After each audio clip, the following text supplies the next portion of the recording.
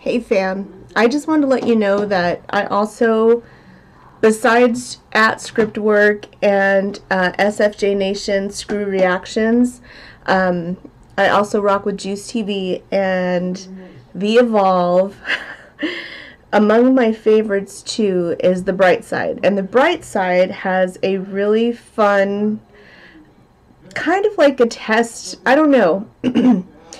they have really got me spot on about things. And now that I say that, I'll probably be jinxed. But um, this one says the first animal you see reveals your personality type. Have you guys taken that? If not, go to the bright side and take that test. And then tell me which one you are. I love this because I always get the eagle.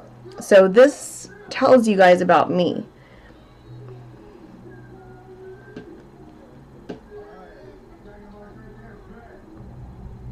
Goals and do everything possible to achieve them. Men and women of this type are noble and take care of people who need their help. They will always stand up for someone who is unjustly offended or bullied. You can rely on them and on their decisions. Representatives of this type are not afraid of condemnation and ridicule.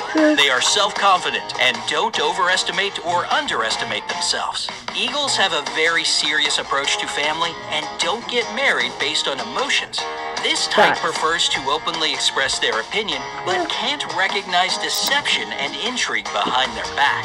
In society, they behave with an aristocratic attitude, causing others to envy them. 3. Dog. Dogs are... So, that was mine.